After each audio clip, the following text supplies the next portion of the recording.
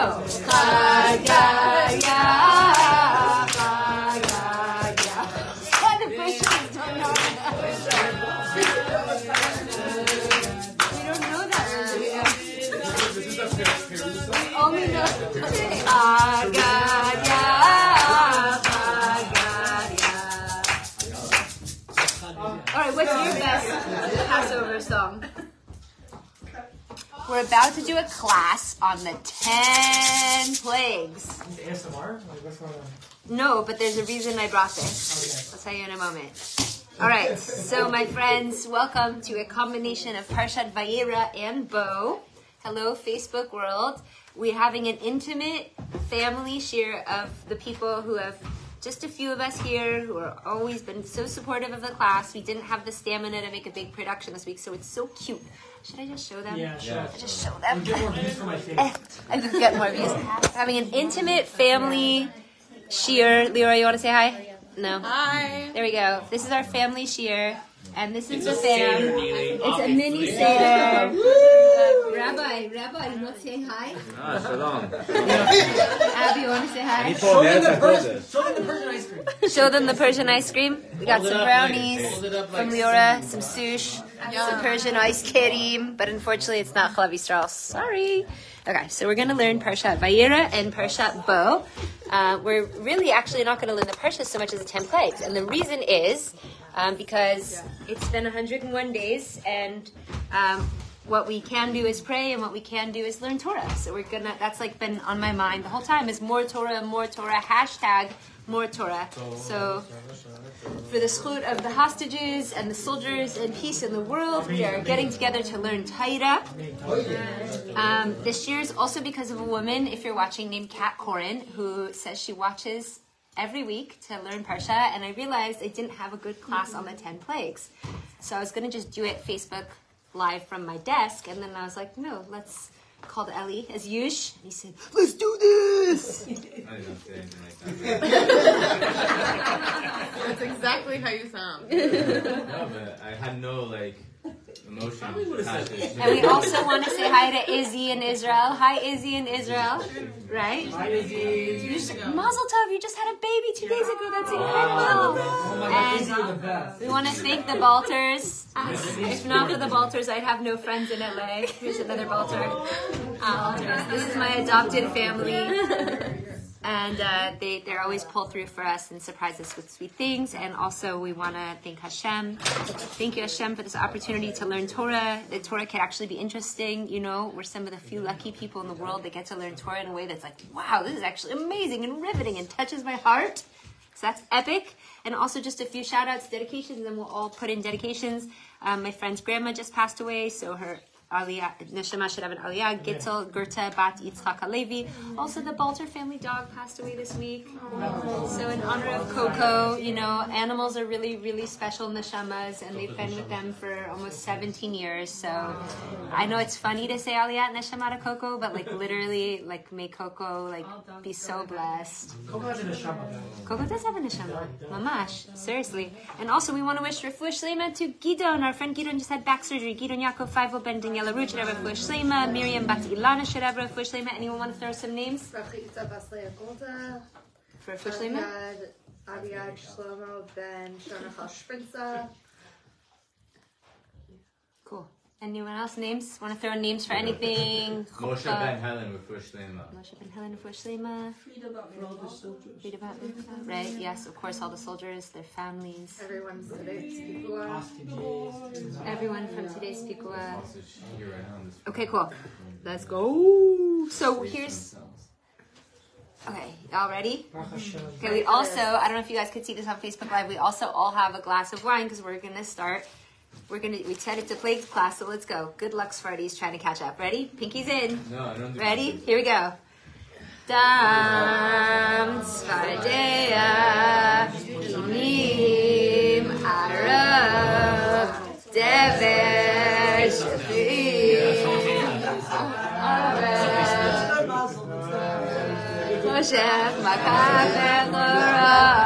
To really get, oh, you get take my glass and dip. You you cannot dip spiritually. You must dip. Pass it my glass. The bro. In. No, no, no, no excuses here. Okay, so here's what we're gonna do tonight. I'm assuming it'll take an hour, but you guys go when you need to go. It's all good. Family is family, so can be real. Say what? I know it was big and it was seriously shocking. Okay, so We just had a spill. Nobody. It's face up with a spill. Mazal tov, Mazel Now tov. we can start the series. Okay. You know what's amazing about this? I was gonna say it at the end, but you see how chaotic this is, and we're like as if doing a Pesach Seder. So the coolest thing about Pesach actually is called it's called the Seder, but the irony is there is no Seder. Nothing is ever in order, and that's really the deepest message for our lives.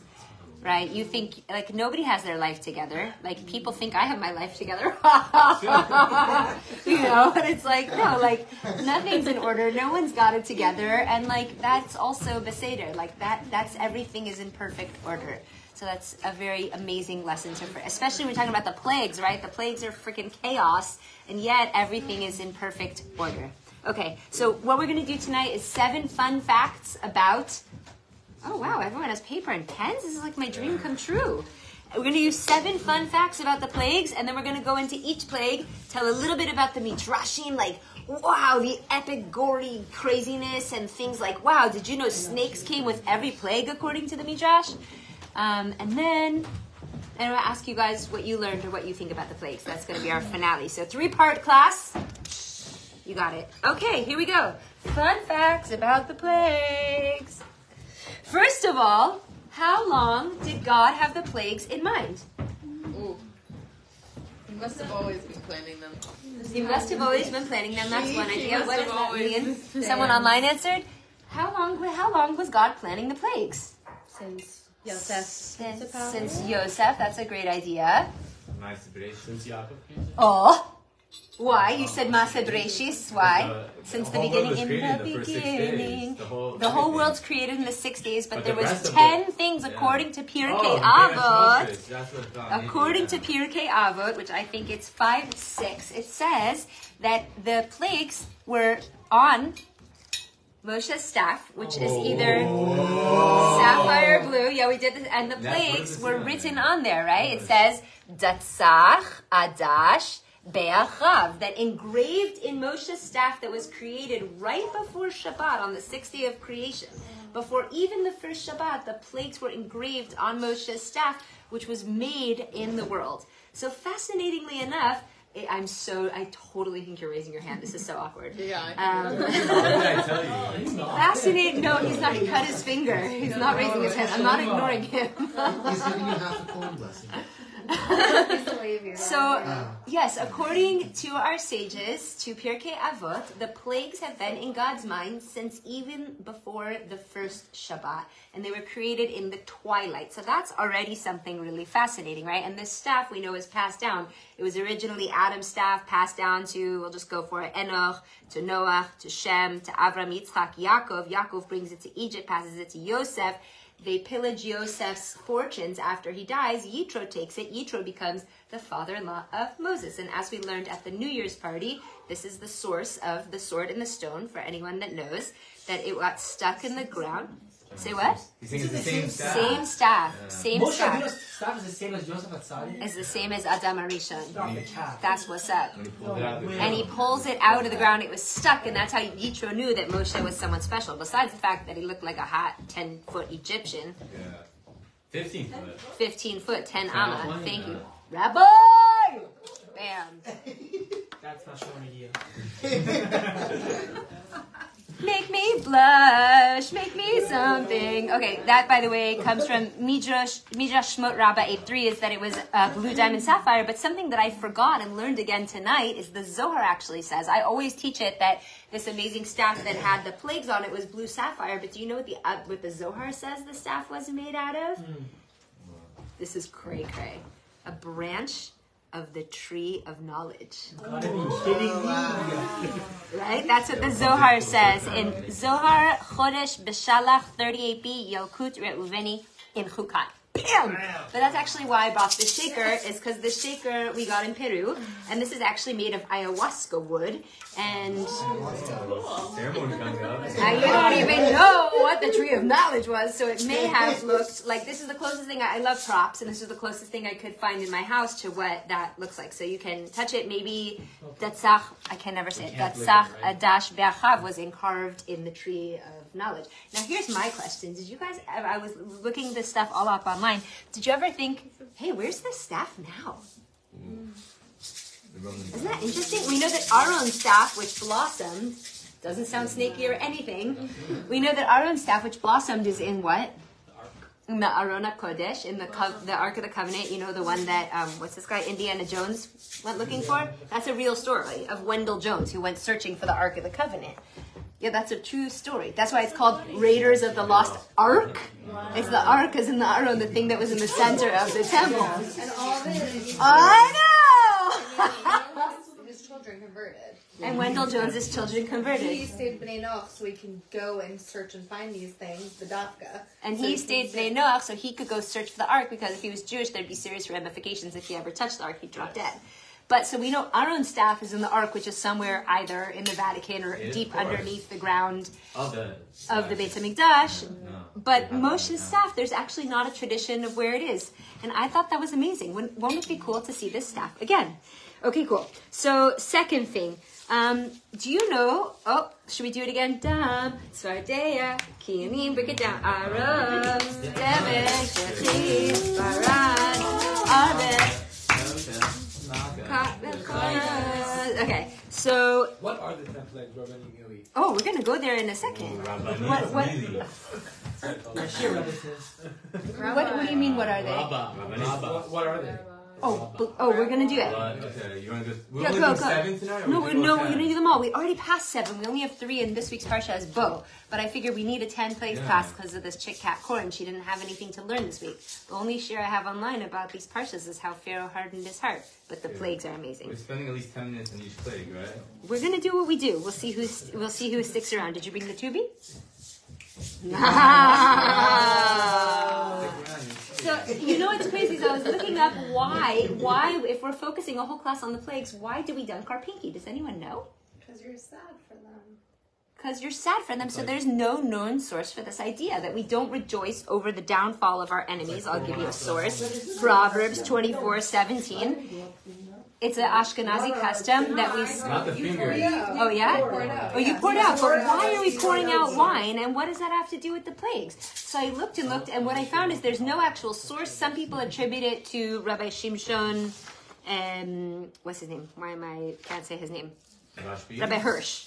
Shimshon. Hirsch. Thank you.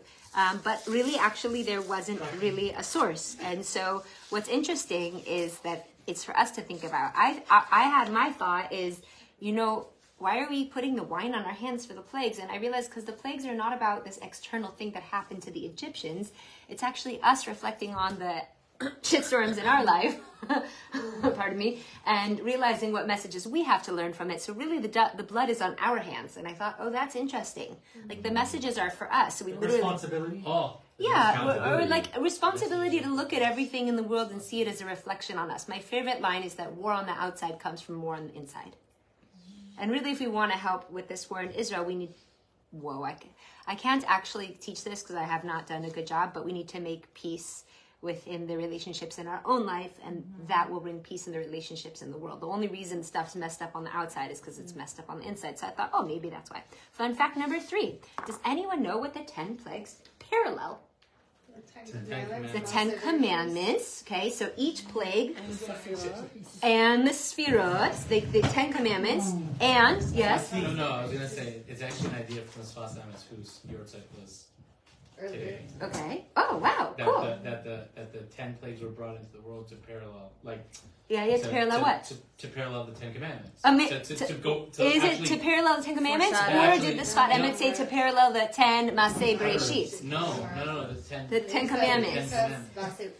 He says, he says, um, Sfat Okay, so Ten Commandments. I Mas need to to, say Maaseh, to, which is to, not right. to, to, actually, to, to transform into the, like, Oh, to transform the Yeah. plagues into, Into- the Ten yeah. Commandments. That's fascinating. We could do a whole study on that. But my favorite aspect is actually the plagues parallel how God created the world, but in reverse. So, right? So we have God creates light, and then what's the second to last commandment? God creates Darkness. darkness. We have uh, God creates life through water, right? If you want to take the evolutionary stance too, through water, and then what happens? Life through water, and then it becomes death through water. And then also, what was created? Vegetation is created, animals are created, humans are created, and what happens in the plagues?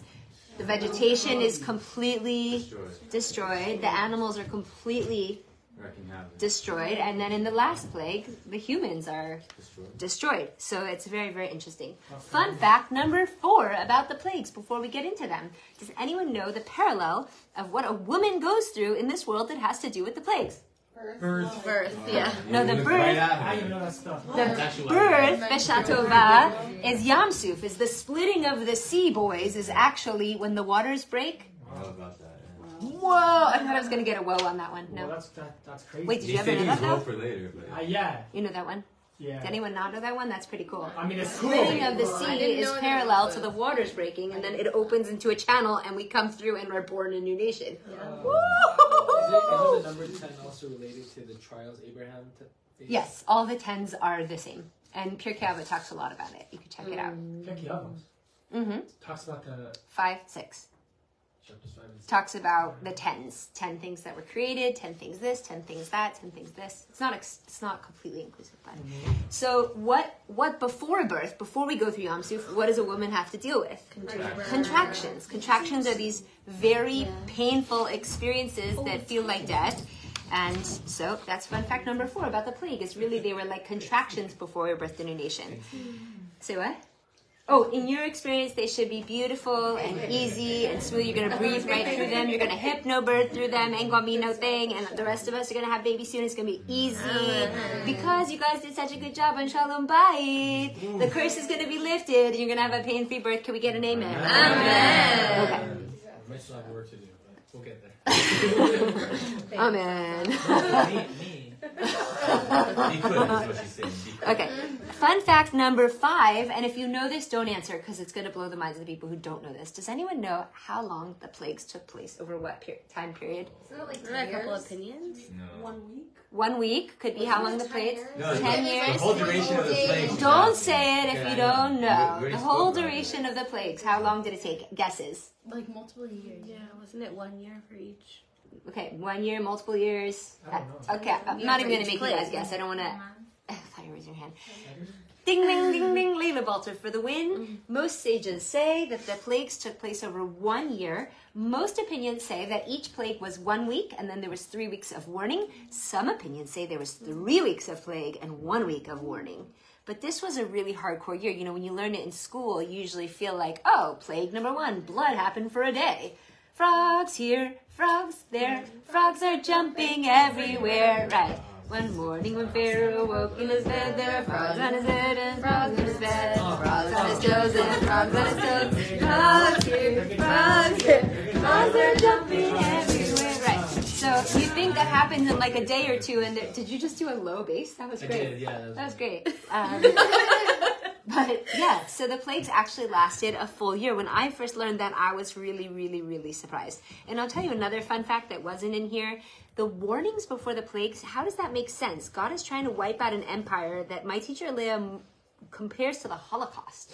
She said that the plagues were so bad that like the bodies that were stacked well, the, the before the plagues, the slavery was so bad that there's 400 entrances of the palace according to the Midrash, and each one had bodies stacked up as high as the, as high as the gates. Like babies' arms are sticking out of the walls. It was nothing short of a Holocaust, Egypt. So you'd think that if a nation treated us oh so poorly that we'd want to wipe them out. Why are we warning them? Warning or warning? Warning. We warned them, but God warned them. That's what we do. Like we're doing in Israel right now. We Thank you, and that's what was really Yeah. I fascinating wanted to to me say the because right nothing. Ecclesiastes, give them a Kohelet. Reb, Sh- uh, Reb Shlomo, Melech Shlomo says there's nothing new under the sun, Also, and was a Ben. also was Reb Shlomo, right? Have a- have a- And the idea, though, is that for some reason ahead. we warn the people that are trying to destroy us. We're so humanitarian, like that's why it's such a basa. It's such a shame that if anyone is watching, that you know, like we can just tell you firsthand from all of our friends in the army, like the craziest thing, the Israeli army is actually so humane that we'll warn people before we're gonna bomb if we have to. To it's the same thing. Three times we, we won them. Three times we warned them. Like yeah, three Leaflets, weeks call, yeah. and the little tap on the building. right. So please God, all the truth should come out. But it's pretty crazy, you know. It says "Maaseh avot siman lebanim," like even God was laying out this precedent that we're gonna warn before plagues, which is just kind of wild. Three warnings, like three weeks. That's Three warnings, like three weeks. But Yeah. Did you share that, Shira? Is that you? it. No. Danielle. She, here, we go. Ariana Grande. Uh, Okay. Also, I think God wanted Pharaoh to like recognize God, and that Yes. would be a great tradition. If, God, if Pharaoh would have. If Pharaoh would have acknowledged God, it would have been great. right. That's the whole purpose of all of it, right? The whole purpose of all the plagues is to acknowledge God. But I had some weird thoughts on that as I was running today. I was like, that's really awkward. Like, I am your God. I'm destroying everything. Know that it's me. And I'm like, hope no shidduch candidates just watch that. all. I'm gonna I know. What are you gonna do? Like They're gonna, they're gonna love it, Nili. I know. Everyone, they're gonna love it. But, but like, oh, That's so hot. No, but really, it's a little weird. Like God wants us to recognize Him through the plagues. That's a little interesting. I don't know. We could talk about that at the end. But okay, fun fact number six. Then we're almost at the plagues. Fun fact number six: the parshas of Vayera and Bo have all the plagues. Vayera has seven, and Bo has three. You're gonna know this for the rest of your life. How cool is this? What's the gematria of Bo? Bet Three. Aleph. Three. So it's really fun fact. It helped me ever since I learned this. I was like, no, there's only three in Parshat Bo. Because once you learn it, you you got in, and then you know how many are in Oh, I Vayera. just connected it. Isn't that crazy? Bo is Bet is two, Aleph is is one, so three. So there's three plagues in Bo, which leaves seven for the Parsha before, which was last week. Vayera. You have to know the What a third. trip. You have to know there's ten, but I think it, raise your hand online if you know there's ten plagues. That's easy. Chaim, oh my god, how cute! Someone's posting frog emojis. okay, cool. And fun fact number seven. Oh, this is my favorite thing of the whole night. My favorite thing of the whole night, guys. If anyone's tired, there's tea and coffee. I saw you yawn. Okay, Parshat Bo, the end of the parsha after all the plagues. At the tenth plague, what's what happens to what do we have to do to make sure that the firstborns? What's what? How do we protect ourselves?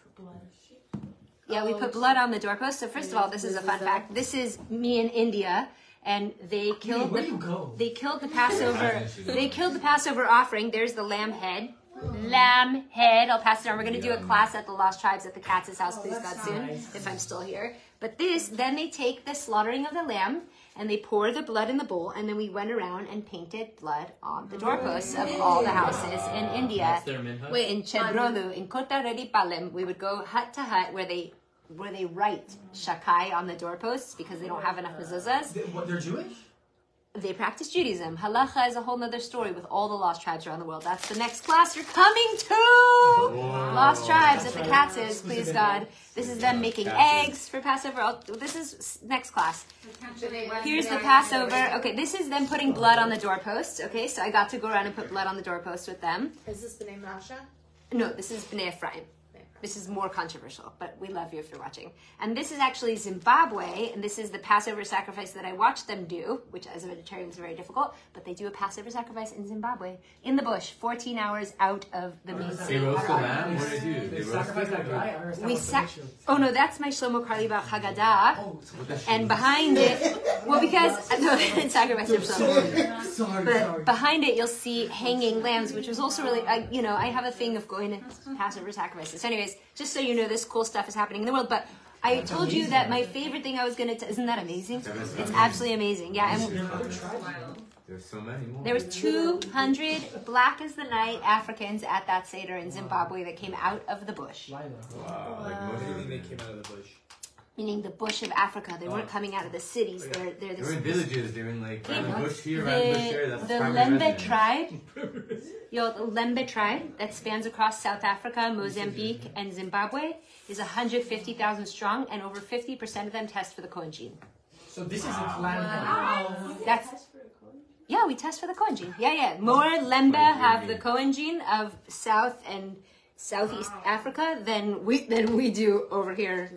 That's a little white. So, Okay, but that's not why I wanted to tell you about this for the 10 plague. I want to tell you about this because there's a dinner idea. If you're hosting Shabbos dinner, please serve your people. Please, here's the best idea. You serve tomato soup like a bowl of blood.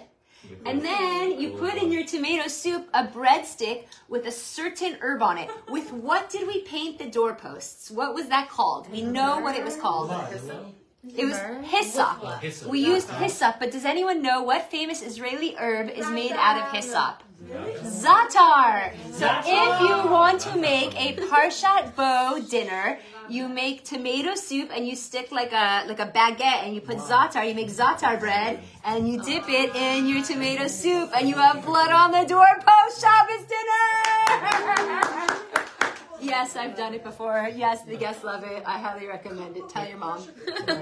Come up with. We're, we're talking about a kosher cookbook according to the parshas. But anyways, okay. Now we've done seven fun facts. We're gonna review them really quick so you know what we talked about, and then we're gonna get into the parshas. Okay. And guys, if anyone has to go, I'm not offended because I know Ellie wants to learn Torah all night long. That's what happens when you get a rabbi in the house.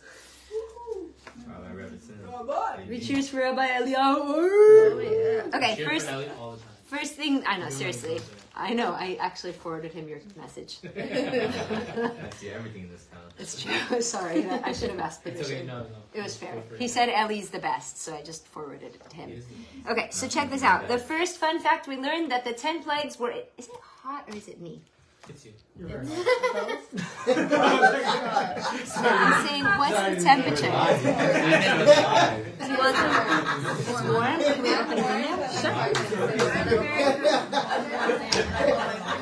the window? You didn't realize you were hot.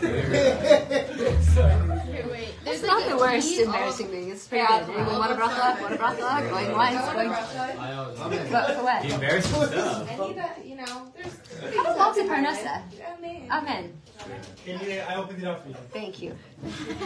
Like the split seed. The first thing we learn is that the plagues have been the plagues have been in Hashem's mind since when? The first Friday of creation. It was on Moshe's staff, which was either blue Or the sapphire or a branch from the tree of. Oh, knowledge. Great, that was fun fact two. One. Fun fact number one is that we don't have a source that tells us why we removed the wine. Interesting. Fun fact number three that the ten plagues parallel the ten Utterances. Everything. utterances of creation, the Yes. sphero, but we learned about the creation utterances that it, things literally go backwards. God created light, God created darkness. You guys, this is karma for how I was as a student in school. True story for my sister Joanna, who's watching. One time I dragged her to a Chabad shiur, and just, The way to go. we we ended up in one of those hysterical laughing fits so bad they stopped the whole shiur, asked us to leave, and Obviously, someone may or may not know. have peed their pants. But um, fun fact number four: that the that that the the contractions of the plague are likened to the contractions of because after we go through the The water breaks. now see if the water breaks. Fun fact number five: we learned that the there's also ten. Like centimeters till Oh, the wow. baby.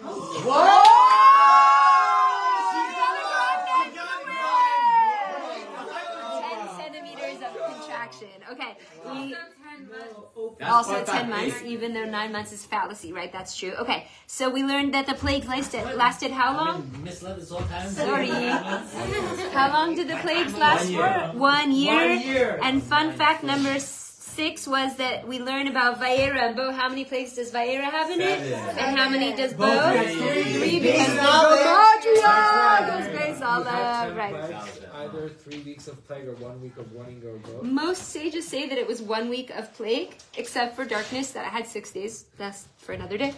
Um, but yeah, some actually say it was the reverse. But it was freaking brutal either Who way. says it was a reverse? Wouldn't that- I wish I had my wouldn't you need sources, but I started preparing three hours ago. Wouldn't you need 12 plagues then to come up with the whole That's so not true. I was studying the the problem was I just learned this week that you can't um, turn down pages on books on Shabbos. I didn't know. So all of Shabbos I was studying the plagues, but I had no post-its and I couldn't turn down pages. I just learned that I didn't. You can't turn pages on You Shabbos. can't. You can't. What? What's it called? The, Oh, I hope I'm wrong. You You can't can't fold. dog He said he thought he said turn pages like as No, can't turn down. Anyways, No, dog so okay. And the seven oh, fun facts about the plagues is that what should you cook in Parshat Bo? The soup. Oh my god, what's going on here? There's a lot going on. Salad. Hummus and chips? Uh. Wait, you should cook the soup with the tomato soup. No, it's that herb. Fun fact is cooked tomato soup with what herb was hyssop? Za'atar. They painted the doors with it. za'atar. Everyone have za'atar at your Shabbos table. Now, are you ready to get into the 10 plagues? Because Yo wants to know what they are. Okay, so here's some of the plagues I know better, some of the plagues I know less. So some you're going to get a lot of info, and some we're going to go over in like three seconds, okay? Um, all my notes are in spot in storage, so we'll have to get me to make aliyah before I can give a proper Amen, share. amen, Yeah, amen. What are the spots? Yeah, all my stuff's in spot. Yeah. Go back to the party. Yeah. All right, here we go. Let's do it again. Get your cups out. Get your napkins ready. Five, six, I said five, seven, six, eight, nine. Dam, Tzfardea, Kinim, Arov, Dever, Shechin, Barad, Arbe, Choshech, Makapeh, Chorot. Okay, so the first one is Yoel. This one's for you. You wanted to know, and it's the color of my scarf and why I'm wearing this jewelry. Just kidding, that just worked out. Blood, blood. What happened, guys? What happened? The rivers, the rivers and the Everything sea turn turned blood. All the all the water. water in the entire turned blood. Maybe. Except for the Jews. Maybe. Except for the Jews. All the water turned to blood. Specifically, the source of their water was the Nile. Nile River turned blood Nile well. River turned to blood, but it wasn't just like thin blood. It was like thick, coagulated, stinking blood that killed all of the fish in the Nile, and therefore, you guys know how dead fish smells.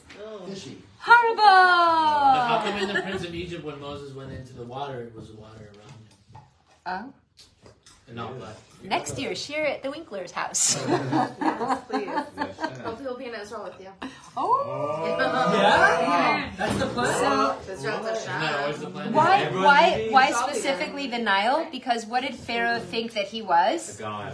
He was the god of the Nile. They thought But that even the but Nile, the Nile itself was the god. The, and the Nile itself was a god. Yeah, uh, actually, what I didn't tell you in here because I didn't want to do eight fun facts was that all of the plagues actually, uh, many commentators say that each plague was targeting a different Egyptian god. That they, they had so many different gods. Pharaoh had a book of gods. This is in the Pshat. It's in the simple text of the Chumash. That um, they had a whole book of gods, and that each of the plagues was like a, a demolishing of that god. Right. So we have the Nile. That Frogs. Frogs are against the god? there was a frog god. There were all these different gods. No, there was like different gods, like the god of the swamps, let's say, or the god of the sun. That means there Hence, only like eight was- gods. No, no, no, no. This was like the the main gods, let's say. Yeah. So, for example, guys have never seen the Ra, movie? you're not really supposed to say the names of the god, but that's like a known one that we talk about was the god of the sun. What defines a god? They worshipped it, Yimach Shemot. Like, which is actually I learned in a defines Chabad shiur this week. That would also define Hashem. Nothing. Ooh, he's asking You're asking fantastic questions. Can we get to it at the end, and you'll, that'll be your fun fact? He wants to leave. That's what he's asking. You wanna I'm, leave? I'm, I'm asking a question. What was it? I'm What was asking it? an answer to question. He asked what defines a god. Like what I- they they believed it had power. They believed it had rulership, and they believed that you should worship it. So I was learning. I was listening to. Oh my God, and cookies, Whoa. abundance. My God, welcome to the altars. Are? Para? We don't know. We'll find out shortly. So I, I, I don't want to interrupt you, sure, but I, I did hear something on Paro why they defined him as a god. Spit it, boys. Spit it. So what what what I heard from, from Rabbi Rose, I was at his house this Shabbos, mm-hmm. and what he said was Dairy that cookies. they defined Paro as a god because he didn't need to use the bathroom. Right, that's one of the Well, midrashim is that God told Moshe to meet him out i- early in the In the morning. Morning. Yeah, early in the morning, like because he would go do his business and pretend he didn't need to eat, drink, or use the restroom, which is so weird. You didn't say Asher like- That's the worst part. He didn't say Asher But it's actually really interesting because you think about it, because like that's such a silly thing. Like, oh, you don't go to the bathroom, you're a god. Like, I, I, that's one of those Torah facts that's cool, but then it's like, wait, what? Like really weird. It's not the cat fam, like we know. It's not the cat fam. Stop the can. Stop the cap. Guys. The cap is like Cap. Cap is uh, yeah. Oh, are it's you a capping? colloquial term, Yeah. Yeah. You gotta I be see with- this you gotta when be I'm. with the I guy. try. I scroll on gotta get your TikTok at night. You gotta get your Instagram and TikTok. Your Wait, Facebook can and I your ask phone. what You're clearly not following my social media content. I am on Instagram and Facebook is a TikTok. digital It took me graveyard. like eight months to figure out what cap meant. I know. I've been And seeing I'm it a lot. younger You're than you. capping. You're capping. Yeah, it took me a while. Okay, what's on your For You page? Like, what comes up on your TikTok when you scroll? Jesus. A lot of Is it like nature stuff? It Nili, is this the first? Is this the Conspiracy theories. This is the first instance of something called a for you. Wait, I'm Yeah, yeah, yeah. I was trying to understand what she was saying. Okay, hold up, guys. We're only on the first plague. There's ten. You deal with the consequences if you're talking. Sorry. I missed my meeting, so we're good. You did? Oh, we're so blessed. Yeah, he canceled anyways, but Yeah, whatever. uh, we're still here. This is how you make the big money. Okay, why? It sounds like World War Three is going on in this house. What is going on? I'm just serving food. Okay. I Okay. already did my four. So guys, it's not just that the Nile was filled with blood, but it says in the Midrash, and it, it's this is all from the Midrash. Everything I'm saying tonight, that the everyone see these curtains, that the curtains of the palace were dripping with blood, that the eyes of the idols and the statues started crying blood. Okay, so that That's not water. It just this Everywhere. is this is what the Midrashim said. These are the things that stood out to me in my mind. Oh yeah, go right ahead. I, I like to brag about the quality of my chumash. And check this out, it's split on Parshat Bo. What's going on? Split it out. This is Jewish, no, what is it called when you flex? This is Jewish flexing when your Sidur or your chumash are falling apart. six thirteen. My flex. Flex. No cap. My teacher Moralea Golem said that if we were like a boyfriend and girlfriend and we were yeah, me and Shira. If me and Shira were out on a date and we were trying to share a milkshake, that out of my straw, if I was the Jew, would come water and out of her straw would come blood. So it was like this very crazy situation. Also, you shouldn't be doing it. And how what what was one what was one thing that we learned from this about why how did the Egyptians drink? You can't go three days without water. How what did they do? Buy from the They Jews. to buy. They had to buy money from the Jews, which is how the Jews started to make their money back from all the work they did. Because the Egyptians were buying water from the Jews, and so the Jews started to accumulate money which they were owed. But here's the deep stuff. Every plague is also midah keneged midah, something the Egyptians did to us. God did back to the Egyptians through the plague. So what's the main horrific thing that happened in the Nile that the they threw? they threw babies into the Nile, right? So God's like, oh, you're trying to cover up their blood? Yeah, right. Expose. You're trying to cut. So the lesson for us is you can't you can't hide your stuff, guys. It comes out.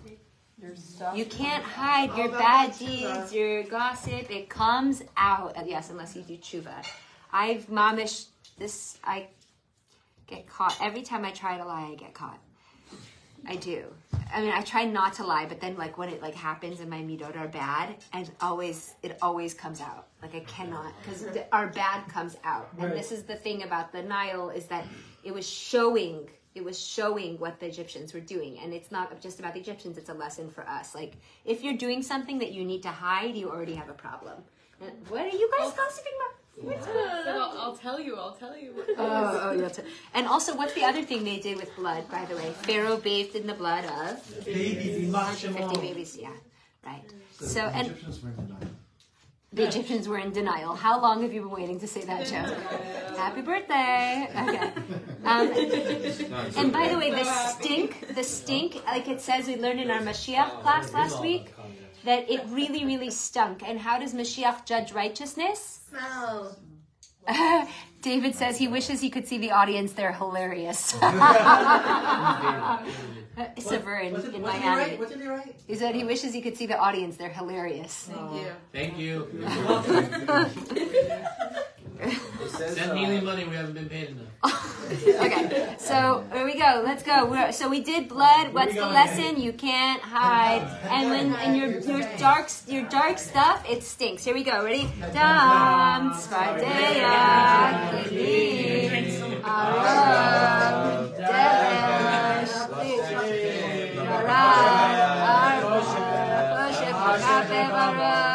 Frog. So what? So here's my question: Is frogs okay? Does everybody know the big tale about frogs? What was unique about frogs?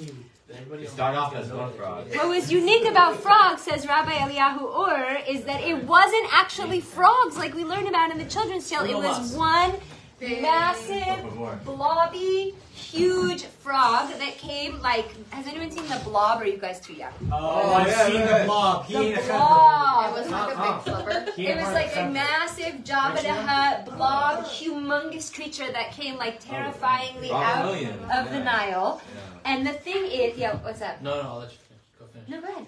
No, I just want to backtrack. I was at David Sachs' this year on Jawad, Yeah. and just based on like what you said about the Nile and, and the um that your We're the talking stuff comes out, like from that that's what the plagues were. You can't have your kids You have your wife. Right. So David's actually saying that the before the frogs came out, before the frog came out of Yeah. the Nile, Yeah. there was a sound. Oh yes. Oh, Yeah, we're gonna watch They the say that the sound. sound was the, the, the Egyptians thought that the sound was the souls Ooh, you guys hearing this? They thought they. David Sachs Wow. told Like Natan the Winkler the that babies? this, this, there's a shriek of the frog that started to emerge before the frog. uh, This was one of the most awful noises. The people are going crazy from the noises of the frog. They are saying that they thought it was the sound of the souls that were coming out from the babies that had been drowned in the Nile. Wow. Yeah, mom is crazy. Okay, but so back to this one frog. How do we get from one frog to all these millions of tiny frogs? What happened? You guys They know. hit the big freaking They frog. were terrified. And what do you do when you're scared? Smack. Smack. You hit. You hit. But really, scared teaches us Star Wars and Yoda that fear is really the ikar of hate. And the thing is that every time they hate, they had anger, they would hit the frog. Millions of other frogs would either fly off of the frog or out of the mouth of the frog. And the problem is, and the lesson we learned here is super deep, guys. Check this lesson. When we're angry, we do things that are irrational.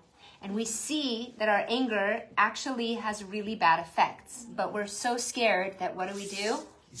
We deny it. No, you weren't We listening because your boyfriend is putting flowers behind your ear. Oh, I thought you I thought the boyfriend was Shira.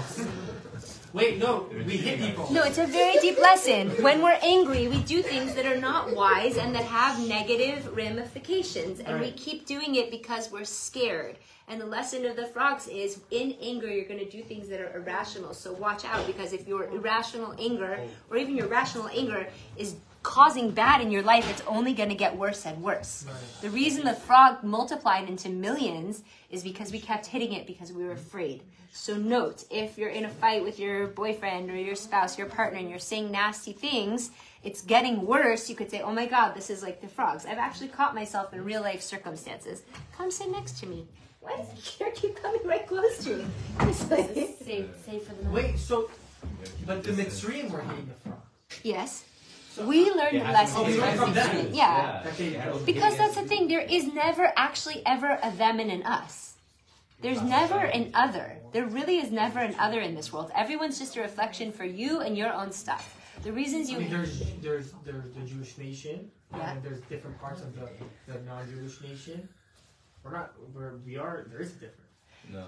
there Yeah, there yeah. there is in one sense, but a Hashem illusion Echad of a U'Shmo Echad. We're all one. There's no. My friend Pesach Stadlin has a. The only flag he'll fly is a flag of the globe.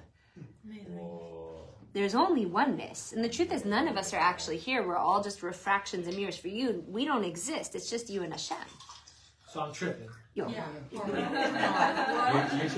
realize this until now. We're all Edibles are legal in Illinois? Okay, so here, let's get back in. So with the frogs, we learned it was around frog. But here's the thing: we call it frogs, but the sages actually say it could have been crocodiles and alligators. Now check this out. I'm going to get really vulgar. Men folk, good luck, because the frogs crawled into the testicles of the males to make them infertile, as mida keneged mida, that the Egyptians were trying to make the trying to have the midwives kill the Jewish babies and make them infertile. So the consequence was that the frogs would enter in through a portal said place, and the frogs were going into their bodies and chewing out the inside there's a lot of the. Wow. Is there a more appropriate word for that? No, No, testicles. it's- You're right. This, yeah. It No, was you're very right. I'm, I'm feeling it. You know what I mean? You really- And, and the, no, seriously, the painted Midrashim images. talk about if anyone saw the movie Alien, where there was like little things like projecting out of the ah. stomach. There was like frog, alligator things. Put your It was here. really, really horrific.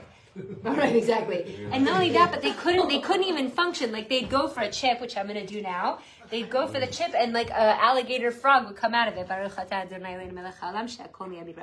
Oh, so Adonai Hashem made them infertile by, by you know.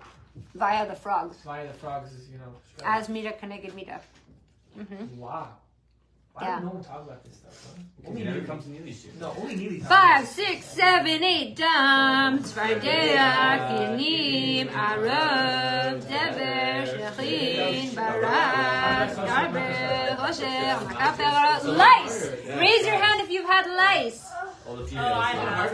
Lice, lice, lice, crawling lice in your hair, crawling lice in your beard, Persians, crawling lice all over your back hair, crawling lice all over the rest of the places where you have hair. Crawling lice everywhere. Everywhere there's hair, and let's say shaving was not a common practice back then. Lice, lice. I hope you feel itchy in your head right now. And someone starts to feel itchy in their head. Lice, lice on your head. Lice. Oh yeah.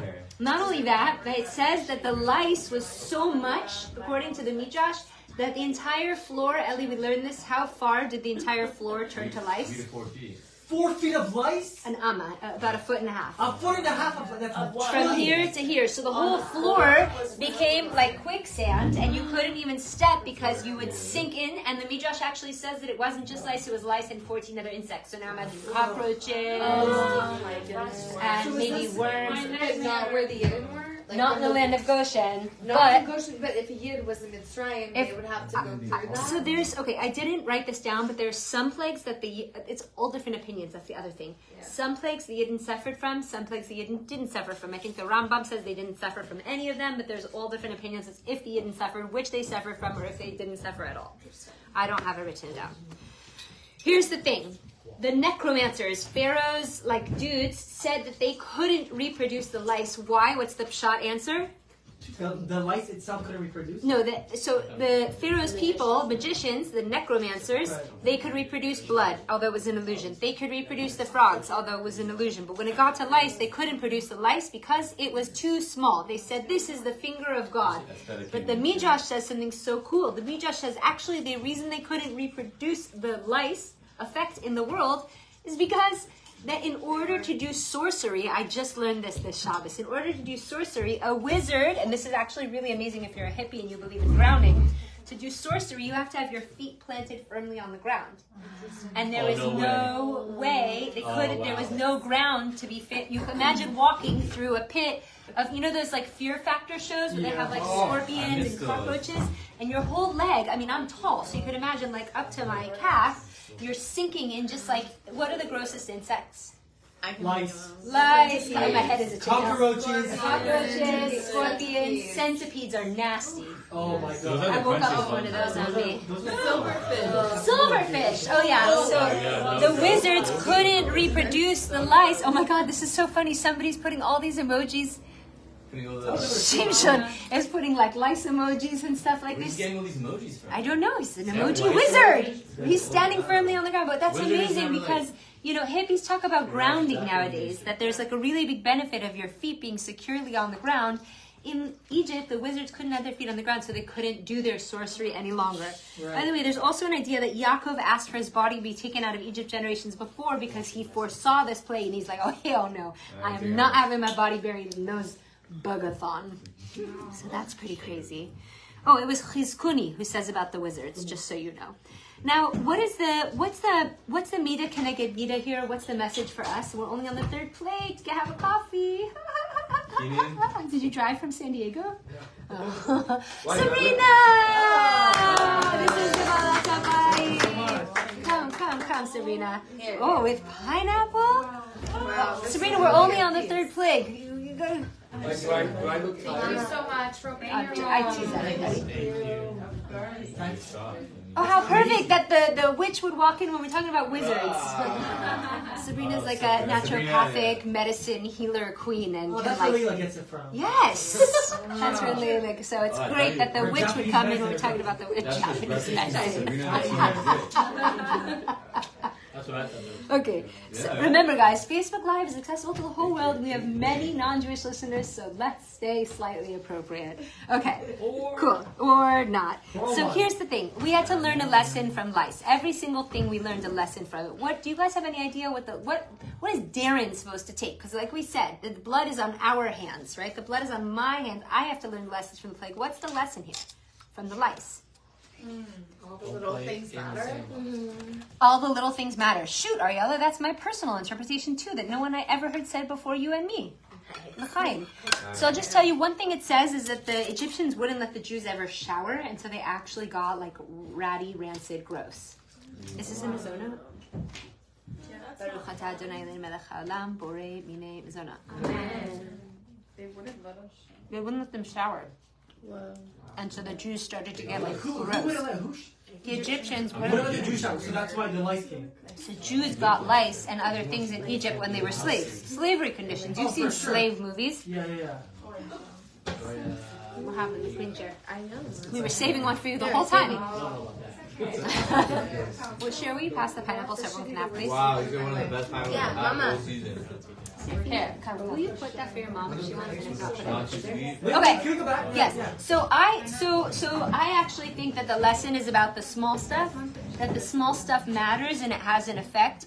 This is a little bit gross, but you know, welcome to a Nili shiur. I really believe that something like I call this the tenth test Jew, is the Jew who's willing to wipe the the pee off the seat. Yeah. That's that's the small things to, to make the, the small things matter. seat on the Yeah, sometimes you sprinkle. You gotta make sure you wipe the seat. That's a tiny thing. That's something that you neglect to do. I sit down. You just no, no, stop, stop, stop. You have to ask a few more Jews and then see what But the, the, li- what's what's a little thing that matters? Like a little piece of Picking up the litter, picking up the trash. What's a little thing that actually might matter to Hashem? Saying thank you to your partner. This is a big one. Once you get into a relationship or when you're with a partner, it's easy to expect that your partner does things or someone in your family like um, like pays the DWP bill or like um, wash the dishes, like to say thank you for the little things.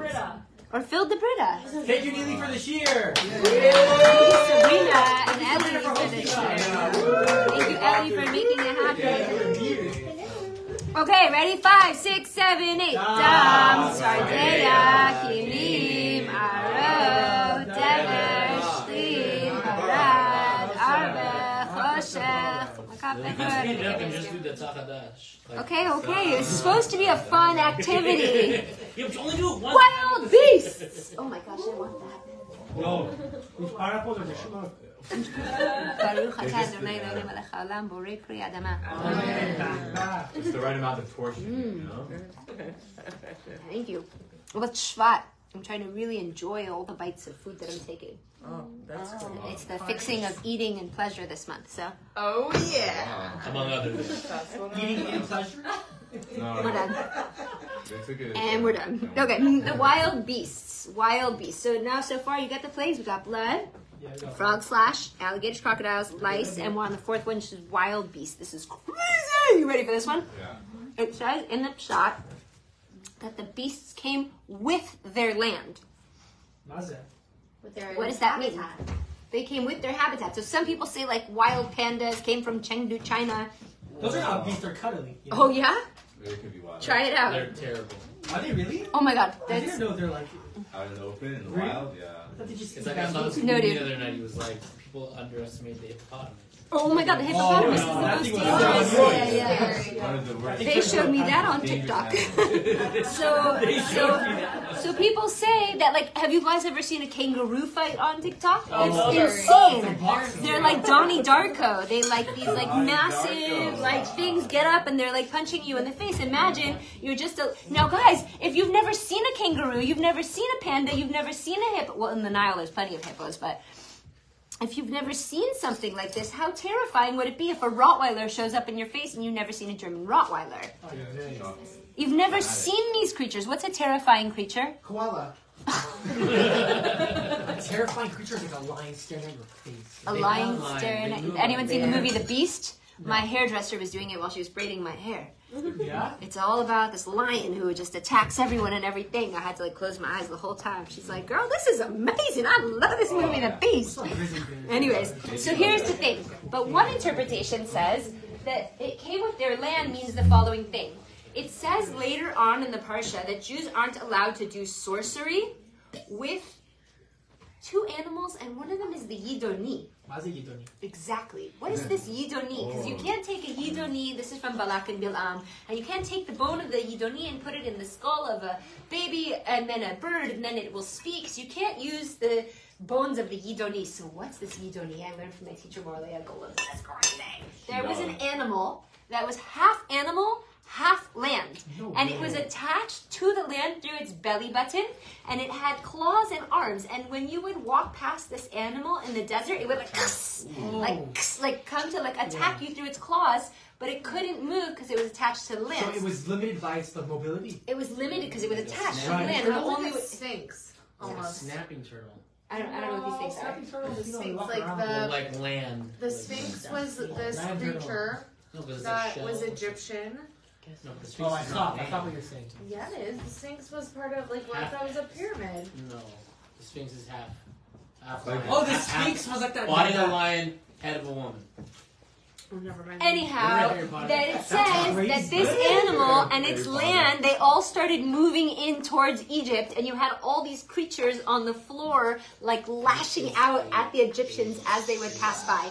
But not only that, that it says in the Midrash that the sea creatures came out of the sea with ten foot arms, and they would you the Egyptians would go run and hide in their homes, and the sea creatures. And I'm not making any of this up; it's all Midrash. By the way, if you believe in Rashi, what Rashi says, Rashi is eighty percent Why you- Midrash. Rashi. Rashi's the main character. Okay, if you're into Rashi, You're into Rashi. did I tell That's you this the cool best story? I response. mishadeched a couple You're on one on site. I looked at this one girl. She showed up in front of me. I was like, "Oh my god, you're Rafi's husband." She's like, "What?" I was like, "You're Rafi's husband." She's like, "What?" I was like. Set them up. Thank God they have three kids, and one of them, their Oh, first wow. one, is Wow. named Rashi because they wanted their son to be always to see himself in the Bible. Wow, that's so cool. Isn't that so cool? Yeah. Wow. So good stories. But the whole point, which I'm trying to get to, Right. It's Rashi. Oh, because Midrashim. Rashi is 80% Midrashim. So if you think these are all fanciful, but you think Rashi is the man, just check yourself. Don't get so crazy. Da- Like, spiritual metaphor is really deep, and maybe these things happen. Maybe there was a Yidoni. So, anyways, Of course there was. There you was. run yeah. and hide in your house, but these, like, sea creatures will reach over to Layla's head and, like, rip the roof off. How terrifying would it be if a sea creature octopus came ripped off Layla's head? And ripped off the roof of your house and a lion. What's the scare? And pythons, black mambas. I had a trip scheduled to Brazil after Peru. I did not go. The fear of snakes got to me. Really? I couldn't do it. Yeah. I would have wanted I couldn't do it. She ripped off. In the Amazon jungle, they have That's the uh, biggest. They have the, what is it called? Anacondas. Boa everywhere. restricted. yeah. I I, I pulled out. So, what's the scariest animal for you guys that would come if you were Egyptian? Yeah. Oh, big snake. A big snake. Here's the other thing. Need to have a question. Yeah. So the the the let's say the makkah would come, right? The other the first makkah Makkah that came, plague. the plague would come, right? It would leave and the next one would come, or they would bind into each other. So No, actually, it says that each plague was present within the plagues. Inter, what's that called? Inter. Interstellar. David Sachs loves the word. Inter included. That there was an element of each plague within the plague. We also know that within each plague, for sure, there was almost always snakes. Almost every plague came with snakes, like freaking falling out of the sky. Yeah. Why? Yeah, my Why mom. do we know that? Those poor snakes. Why do we know that? I don't know. That's what the sages say. But it's interesting to me because of my deep fear and the connection between snake and Mashiach, right? We know snake is 358, Mashiach is 358. Right. Yeah, this is one of the best gematrias of all time. Is that snake, the original primordial, as if evil, Uh-huh. Is the same exact energy as the Messiah because you have to go to your darkest, darkest fears and evils in order to bring. Nachash is 358 Mashiach. And the separated and the separated surah says that the And Atzei Shittim is one off. Yeah. Nachash was a prim- like primordial man, like the primordial Energy. energy of like he was a man. Like, Uh, the snake was a man. the man. snake was a man, but it, Yeah, was, it, was, it was the man that was created before Adam. That was the primordial man. It was like Right. the It's how messed we, it's how we, now. but that's Right. the point. It's tikkun. It's all tikkun. It's how we fix spiritual fixing comes from going to your lowest, most evil, rotten, scariest. In Parshat Chukat, we have to look the snake in the eyes to heal. So there's snakes in every single plague. Some say they're into included. The thing about the study of the plagues is that there's so many opinions on each. It's hard to give an accurate presentation. You But mean it's snake energy or literal snakes? Snake. Well, literal snakes. Literal snakes. But the whole we're always fixing snake energy every day. Snake. It- it- Snake energy is the Sahara. Yeah, but it's also the highest form of healing, and it's facing your fears. Uh, So how come It's it's a a medical medical sign has a snake? No, that's the whole point. It's, you're, it's from Parshat Chukat, where we had to stare into the eyes of the snake that in order to heal. The snakes bit us in Parshat Chukat, and then we had to look into the eyes of a snake idol specifically in order to heal. You have to look into the eyes of the thing you're terrified of to heal yourself. Very deep teaching. Did everyone catch that? Yeah, I- I- We're only on the fourth plague, because I should probably, yeah. Um, Mida Keneged Mida, why the wild beast? You guys ever been to the Colosseum in Rome? No. So I went, but I didn't go in because what happened in the Colosseum was actually a torture chamber. They would unleash the slaves and they would unleash wild beasts and they would make them fight and watch them get torn to pieces. And this originated from Egypt. This is what the Egyptians did to the Jews. They would put them. This was their. They didn't have Netflix, so they would take a like a holy Jew, right, and they would put them into the room with, I don't know what animal. a lion. A grizzly bear. lions. Malchut. a, a bear, right, or, or whatever, and they would watch them tear them to shreds. Oh, so this was Mida Keneged you couldn't go into the Colosseum because of that? Uh, no, I didn't No, want isn't to. Oh. I didn't want to pay money to enter into a place of evil, so I circled it seven times and said to Tehillim. Wifey material right there. That's it. I didn't have a shofar in Rome. I did. I wish that would have been cool. I don't know why I didn't have a shofar in Rome. I was there alone. I don't, I don't know. Okay. Uh, not that that matters. Anyways, okay, let's go back in. Um, also, okay, we're gonna skip some stuff. Next, done. Okay, datzah. Adash be'achav. We do that during Seder, No. so. Okay. Legit. Okay, the next one is called Plague, and this is we're on five, so you guys decide how long you want this to go. You know, I'll stay here all night. and The Balters are night owls. We have another hour to go at least. okay, so plague epidemic is where the rest, uh, the, uh, many of the animals that weren't demolished, they get sick and die. Um, not only that, but the Midrash's their writers died too, and this was a very big impact on the economic system. The Mida Keneged Mida is that the Egyptians totally effed with our finances and made us go completely poor after a series of turning us into slaves, taking everything we owned, and, and Can I make you tea? um, Honey? Honey and tea? Yes, yes, yes. sure, thanks. Um, nothing, no, no, no caffeine, please, and no chamomile. But, so Something the, horrible. the Egyptians made, made us poor, uh, but I No, thought I'm we telling sold. well. I don't I know. thought we sold the, the water to them. I don't up top. No, initially part of the slavery, we were just regular citizens in Egypt. Remember, we came down as like a family of illustrious, strong men and their families, and it- we had it all good. But then they started to have us work for Pharaoh, and then the Egyptians stopped working, and we kind of took over their jobs because we wanted to be good citizens. And then they stopped paying us, and then they started enslaving us worse. So, which is like a slow system of not just diminishing our like uh, um, integrity, but also our finances. I'm gonna skip. I'm gonna just kind of go a little faster. So we're on boils. Datzach, adash, be'achav. Boils are crazy. By the way, what I told the people that you missed is the best idea for a parshat bo is you serve on Shabbat tomato soup and then a piece of bread with zatar because zatar is hyssop and that's what they painted the doorpost with. So blood on the doorposts. Ah, get it? Yeah, yeah. But the other thing you can do if you like candy, which is what I did for years in the seminary system, is you go to the candy store and you buy a different gummy to represent each plague. The best one is that in Israel, for whatever weird reason, l'chaim tovim v'lashalom. really hot. Thank you. for whatever reason, in Israel, they have gummies that are made of eggs. I mean, no, not made of eggs. They look like eggs. Oh, yeah, they're the. They have a munchies. They have it munchies. Okay, so get this for your Shabbos table because it looks like a boil. it's like this white thing with like a yellow bubble over it. Oh Okay. my god. That was actually- into it. Serve boils at your Shabbos table. But why is this so perfectly parsha appropriate? Because like this, the thing with the boils that was so bad, and it was made from handfuls of soot, which is this whole other trippy thing. and Advanced learners think Kisei Kavod in the fight between Yaakov and Esav with the the, the avak that threw, Can we go flew all the way this for a up. second? Because I don't really understand. No, no, advanced That's learning for the end. Yeah, is. yeah. Facebook, we've got all these holy souls on it. Yeah. Um, so what's crazy about this? I learned this from my teacher more like on this too. The boils were crazy. You'd have to see how you could figure this out, holy doctor. The top was crusty and hard. The insides were gooey. So they tried to put softening cream on the top because it was so painful and crusty, but then the insides would just ooze more. Oh, and then they would try to put hardening cream to try to get the soft part to harden, and then it would crust over.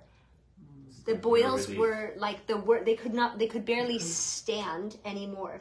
The lesson that I take from the boils, which I think is fascinating, is that when we have a problem that seems unsolvable, we go this way, we try that way, but the one place that we forgot to turn is upwards.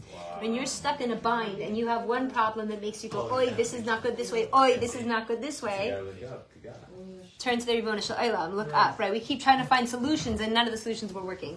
Winkler's having uh, Winkler's making No, comments again it's- Buy my Good friend. Torah, but I can't say it. It'll be misconstrued. on I'll tell Facebook. you. Okay. Can you a elaborate review. on It's that? a Ravirin Torah. It's amazing, but I can't tell you. Someone having problems but turning up.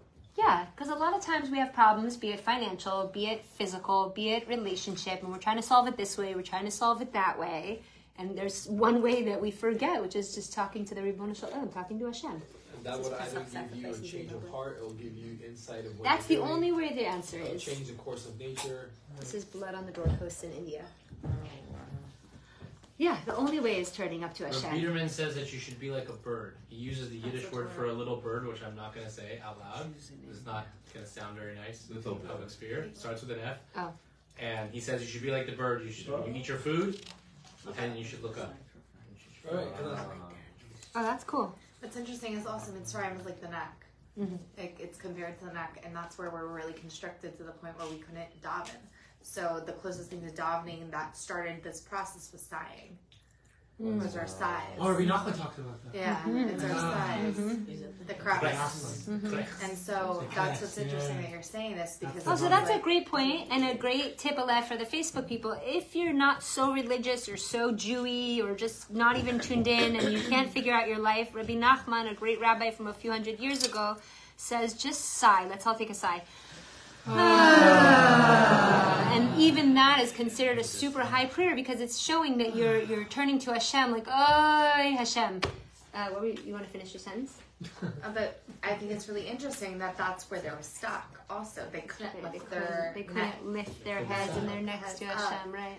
And that's like what was the ultimate kind of like. I'm wondering when did we start sighing now? That's a great I'm wondering question. if it was after this makkah. That's interesting. be really After the boils, yeah, the boils Yeah. were brutal, and there's really interesting midrashim if they affected the Jews or not. My rabbi in Bahrain, his name was Rabbi Avram Iskowitz. He said that don't say oi, say I, as in Avram, Yitzchak, and Yaakov. Ah.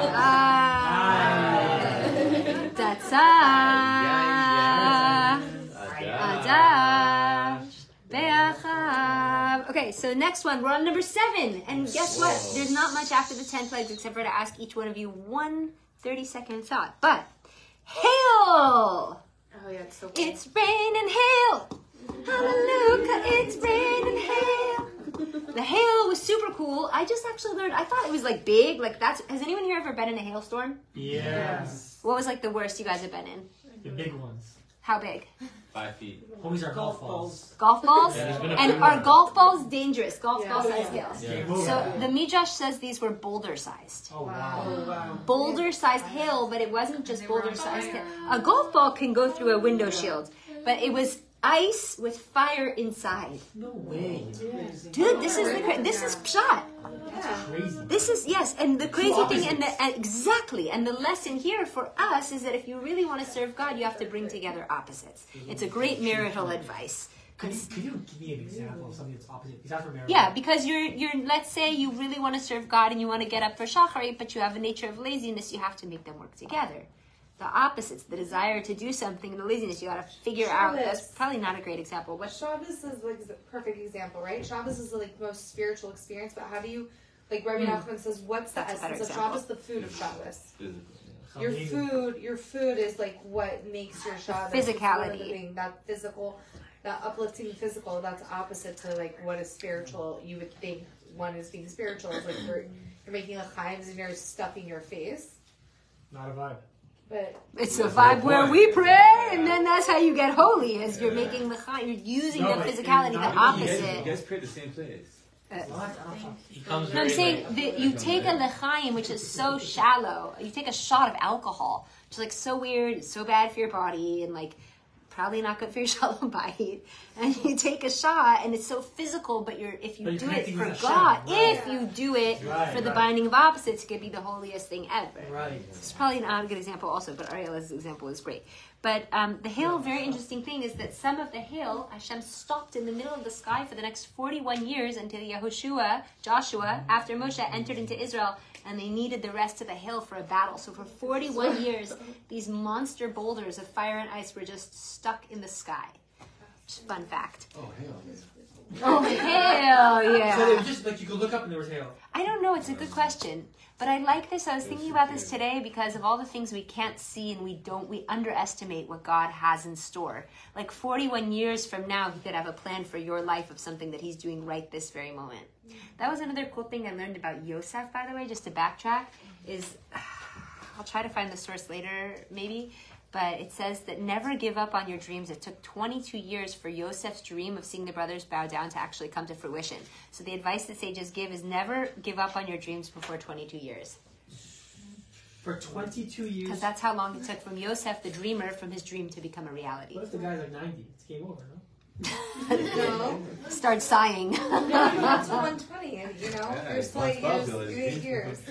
Okay, so that was that was a little quickie on hail. We go Datzach, Adash, Be'achav.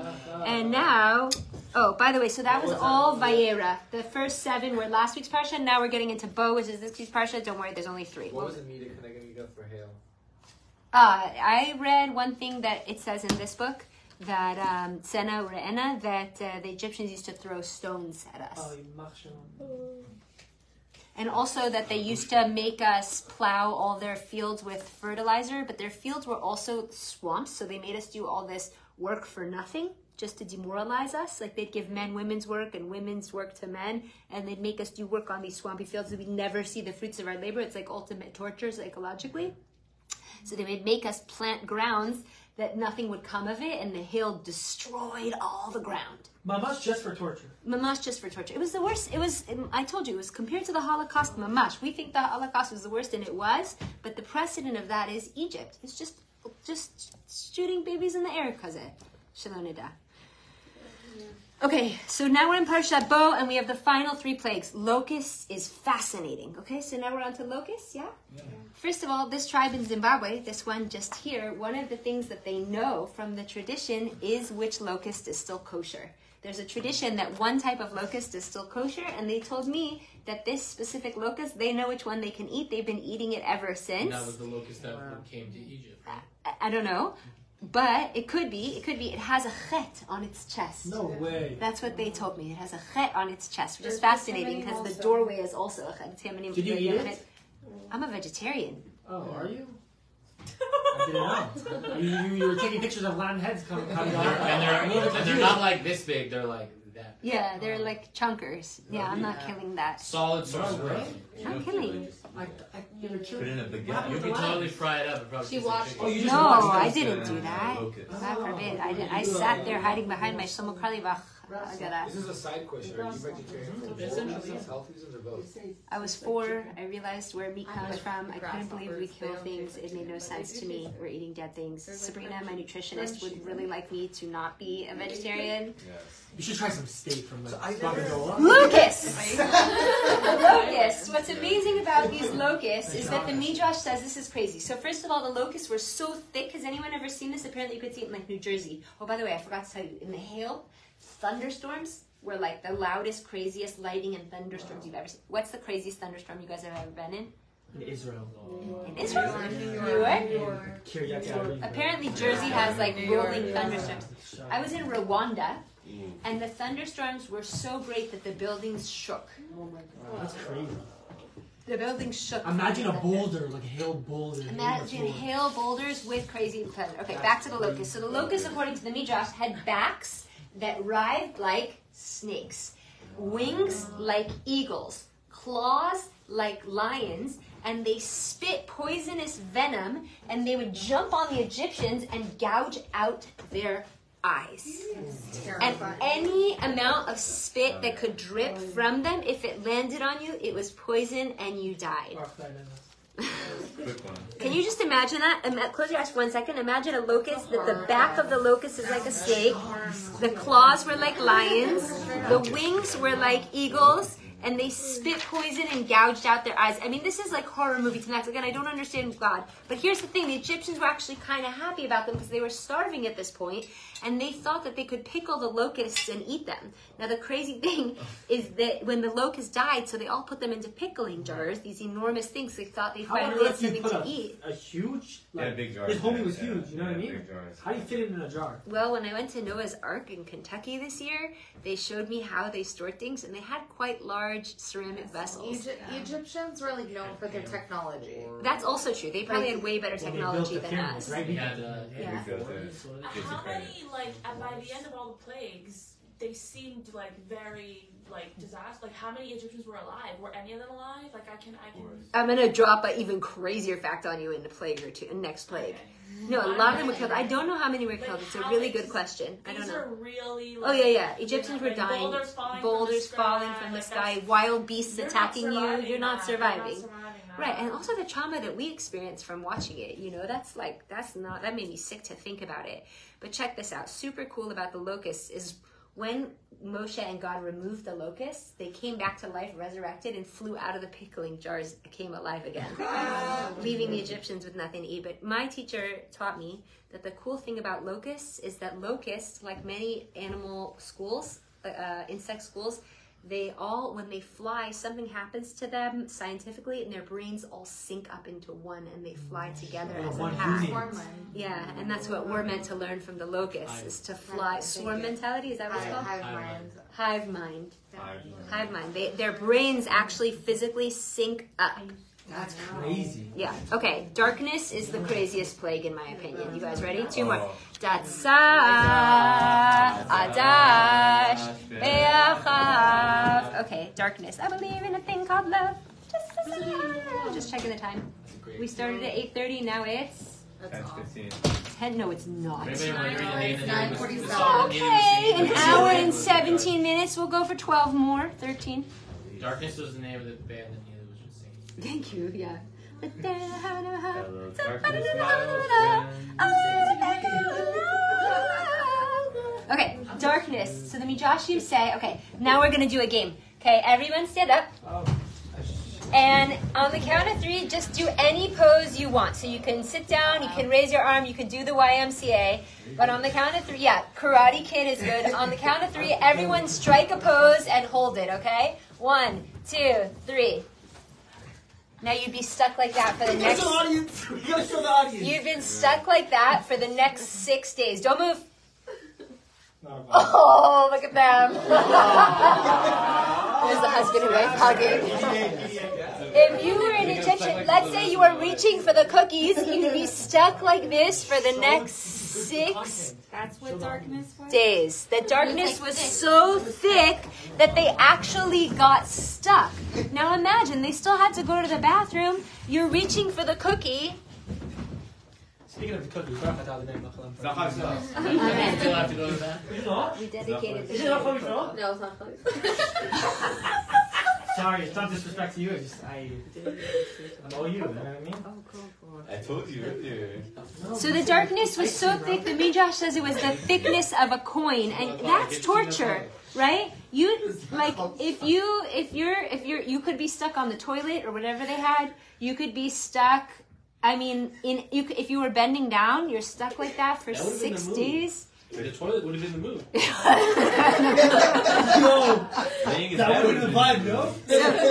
Just you're there. So now, Abby, there was two things that happened in the plague of darkness. One is totally creepy, and one is horrific, and probably the most impactful thing of the whole parshas. One is that the Jews were instructed to go unwelcomed into the Egyptian homes, look for where their gold, silver, jewelry was.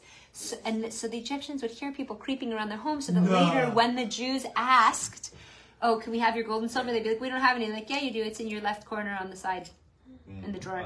Wait, so what do we have, like night vision? Like, what was the vibe? No, we didn't have darkness. There was no darkness for the Jews. We was- saw everything, but the homies were just we still. saw well, there's different all opinions. If Jews. some Jews were, if the, depending on your righteousness, maybe you experienced some level of darkness, but for the most part, Jews had light and the Egyptians had darkness.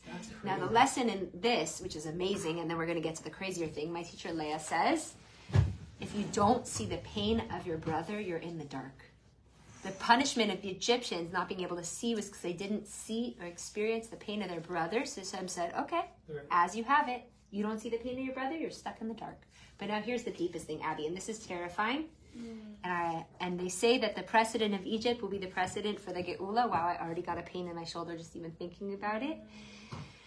Oh, cheers to the empaths. Um, Cheers, Mashiach. I feel like as an empath, because Yeah, I'm I am an empath, right?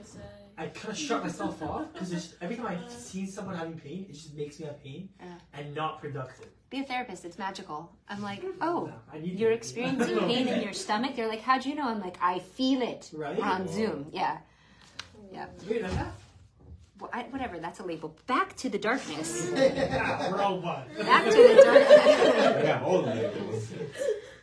Making you nervous, huh? Just kidding. Okay. This is crazy. What were the Jews doing? Serafina, check this out. That's crazy. What were the Jews doing? Yoel, you're gonna you're gonna lose your mind. Get ready. I'm listening. What were the Jews doing doing, doing during these six days? Well, what happened was that 80% of the Jews died in the plague of darkness. 80%, 80%, four fifths of the Jews died in the plague of darkness. We know this because it says in the Pshat that we left Egypt bechamushim. And chamushim can either mean we left armed or we left, Rashi says, as a fifth. But I thought they just decided to. Why did we die from what? Exactly. From the. Ariana Grande had it. Mm-hmm. So you say you just thought they decided to stay back, but then where did they die? So then their grave was going to be in Egypt. So either spiritual metaphor, they chose to stay because they didn't want to leave Egypt. They didn't want to leave the West Side, Century City, Real Foods Daily, Nagila Pizza, Oh Hell Moshe. They did, they had it good. They didn't want to leave Egypt. But did they? Have you guys ever been to Jerusalem too in New York? They didn't want to leave Egypt. Have you seen Miami beaches? They didn't want to leave It's a Egypt. vibe, bro. Those beaches, I tell you. Next week. Right? Uh, right? They didn't want to leave Egypt, and so there was their burial place. So if you want to take it as spiritual metaphor, yeah, they never left Egypt. There was their burial place. If you want to take the Midrash according to how it says, what happened was that they died in the plague of darkness so that their families could bury them so they wouldn't be embarrassed when the Egyptians came out of darkness that the Jews had died. They wouldn't know. So we spent six days burying our loved ones. That's not a. Why? This is a very But well did we known die? Midrash because we didn't want to leave. Rashi brings God's Wait, like, I'm what did we taking you out. from? We just. So, according to the spiritual metaphor, if you're taking it as a spiritual metaphor and not as a truth, mm-hmm. I like to, I take it as a truth. Right? If you want to take it as a spiritual metaphor and say Midrashim are crazy, well, you died because you stayed in Egypt, so that's your burial place. But the Jews that, let's say you want to take it as a truth, they died. Hashem sent a plague and everyone just mm. passed. That's so bad. So you'd wake up and four fifths of your family were dead. Not a vibe. No. Really hardcore and it's it's a message for us like come on guys let's go home like I, now i'm talking a big game but like let's go home like what are we doing here Oh, Ooh, is awkward Zara? silence in the room say Uh, what Zara and the. there is zara in israel yes It is. It's there better a whole story. everywhere. It's Castro. like And- okay here we go finally finally Datsa Adash Me'achav Plague of the Firstborn. This one is crazy. Hmm. Pharaoh has lost his mind and is now running door to door, screaming to each Jewish person, Please leave, please leave, please get out of here, please go, please. Pharaoh himself is running door to door, saying, Please get out of here. So before the plague of the firstborn, there was a revolution of all the firstborns because they were warned and they went against their own parents and there was a slaying fest. And the firstborns would come to their parents and say, "Do something, do something." And their parents wouldn't do anything, so they start slaying. And there was a revolution in Egypt where all the firstborns had an uprising, and now the Egyptians were killing the Egyptians. Civil War. But not only that, you think your firstborn's are already dead. The dogs went to the graves of the dead firstborns, undug them, and pulled them out and dragged them through the streets, says the Midrash. It says there was never a screaming like this in the entire world, and there will never be a screaming like this in the entire world. There was never shrieking like the plague of the firstborn. And the Mida Keneged Mida, you mess with Hashem's firstborn, it's not going to be good for you. Is that one of the reasons why like dogs are Rewarded? rewarded? So No. it says that the dogs were rewarded for, well, that, yes, Oh, yes, that there's one, two, that is and the barking. and the barking. yeah. that they didn't bark, but that was also an idea that there was dog gods bu- uh, bordering the border of Egypt, and they Anubis. went. What is it called? I think it's Anubis. is the Right, dog gods. I don't know, but anyways, so those are the plagues. So before the parshas, so those are the plagues, guys. Good job. We did a whole lesson on the plagues. Now I'm going to conclude us with a few ideas so you know the rest of the parsha Bo, and then anyone can go. But I, I really want to do a go around of what's the main thing you took from this. Um, conclusion: What happens? May I have the chumash, please? Thank There was a you. lot. I don't even know which one.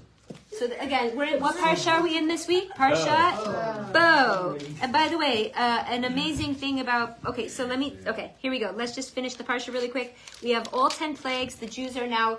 Um, at what point did they get together to do their first seder? During what? When? Passover. What does Passover mean? When the angel of death passed over. So what plague was it in? Yeah, the Passover night where we got our freedom and life, they got death. It's this other crazy exchange. So that was happening. The roasting of the Paschal lambs was happening. The blood on the doorpost with what? With what? Uh, Zatar was happening. Um, and and Pharaoh's going around saying, "Leave, leave! It's time to leave." And actually, we were free by the end of Parshat Bo, but only in next week do we actually leave Egypt through the sea in Parshat Beshalach.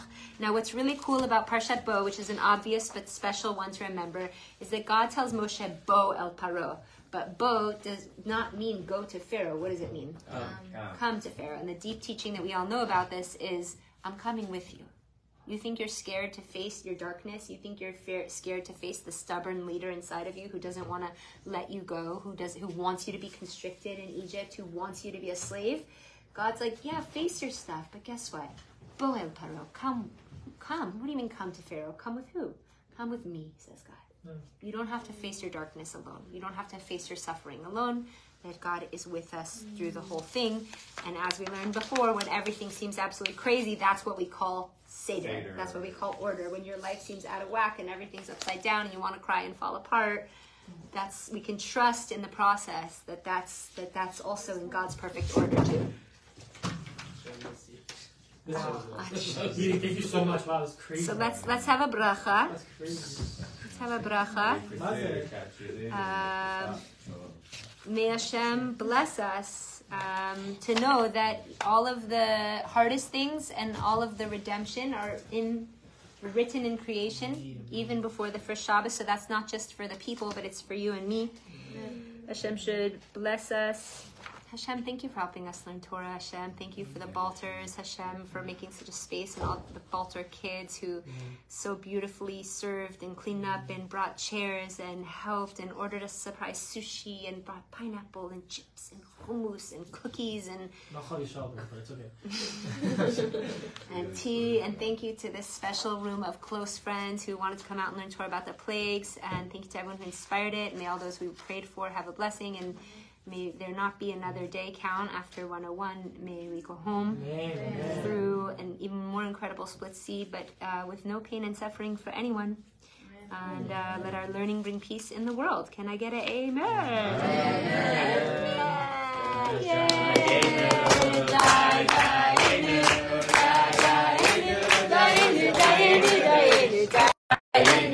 Die, die,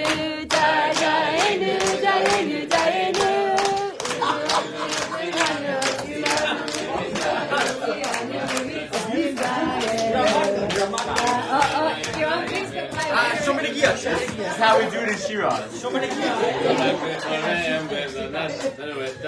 Die. Die, die. Break it down, whoops. Die,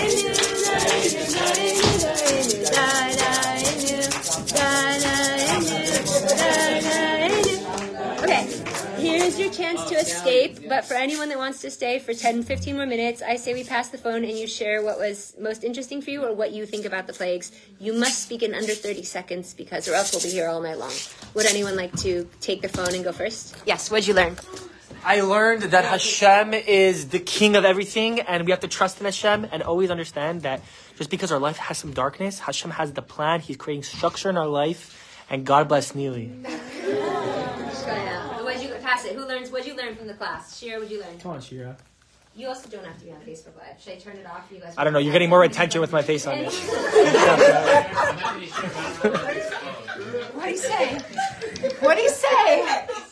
Oh no! All right, guys. Parshat Bo. I hope you enjoyed learning about the plagues. Thank you, Kat, for inspiring this. You want? You'll do it on Facebook Live. Okay, Abby will share. Okay. I I what stayed with me most is that um, when things are wrong in our lives, we always look to the right, we look to the left, we look for you know a solution, but we forget to look up at God, and He has our Like solution. boils. Someone get Yeah. Abby some boil, some boil gummies from Menchie's. Okay. Anyone else for Facebook Live? Anyone else brave enough? Well, Guys, you know- realize I I don't do know this every week. clause, but I'll You could see my pimples and I everything. don't know Okay. I thought the most interesting thing for me was that the staff being made out of the out of the possibly being made out of the um, tree, of knowledge, plus the idea of the snake energy Yes. that we're sort of transforming, and that together for me was like, oh, that's an interesting connection. Very good. And they say that the original that they say that there's a snake under that there's the the energy of evil in the world emanates from a massive snake that lives underneath the land of Egypt till this day. That's not crazy. Yeah, how crazy. Anyone else for Facebook Live? We say farewell to the community. We love you, learners. Thank you for learning with us. Parshat, Vaeira, and Bo on the plagues. He's uh, 28 years old. 28? How old are you? What am I dead? I'm 22. 22? Yeah. I thought you were Ellie's compadre. No, neither you want me, got me, whatever. And uh, tomorrow night we're doing a song circle at the Happy Minyan for anyone that wants to come. See ya. And come to the Lost Tribe share at the Katz's house. We'll let you know the date. Hi. Thanks for watching with us.